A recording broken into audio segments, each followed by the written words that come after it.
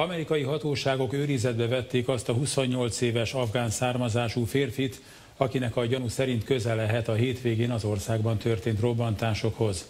Ahmad Khan Rahami letartóztatása lövöldözésbe torkollott. Két rendőr, valamint a gyanúsított is megsebesült az összetűzésben.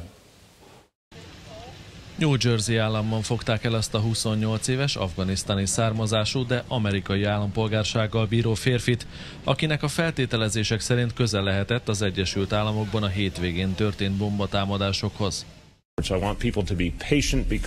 Arra kérem az embereket, legyenek türelemmel a nyomozás időtartama alatt, legyenek éberek, bár ezt a gyanúsítottat már elfogtuk, és az elmúlt 24 órában megerősítettük a hatósági jelenlétet az utcákon.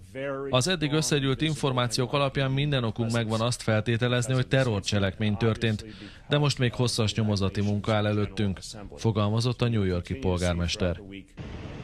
Sajtóhírek szerint egyébként a nyomozók mindinkább úgy vélik, a most elfogott férfinek nemzetközi terrorcsoportokhoz is köze lehet, ezek segítségével hajthatta végre a támadás sorozatot. Források egyébként arról is beszélnek, az FBI feltételezései alapján összefüggés van a Manhattani és a New Jersey-ben történt egyik robbantás között. De folyik a nyomozás a szintén New Jersey-ben egy vasútállomáson talált robbanószereket tartalmazó hátizsák, valamint a New Yorki robbanás helyszínétől nem messze talált távirányításos fémhulladékkal megrakott, de fel nem robbant kukta bombák ügyében is. Internetre feltöltött amatőr felvételek azt is megörökítették, hogy a merényletek kivitelezésével gyanúsított férfi elfogását megelőzően több lövés is eldördült a környéken.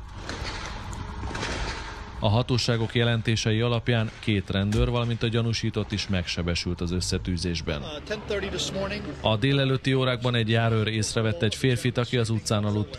Az illető csavargónak vélte és ellenőrizni akarta az okmányait, amikor felismerte az FBI körözési listájáról.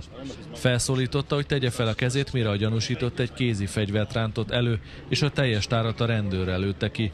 A járőr hasitájékon megsérült. Szerencsére a sebesülései nem életveszélyesek, de ez csak annak köszönhető, hogy golyóálló mellényt viselt. Foglalt össze a támadást a helyi rendőrség vezetője. Kiderült az is, a férfi és annak családja sem volt teljesen ismeretlen a hatóságok előtt. A Rahami család tulajdonában volt egy étterem abban a New Jersey állambeli városban, ahol hétfő hajnalban öt robbantó szerkezetet találtak egy vasútállomás közelében.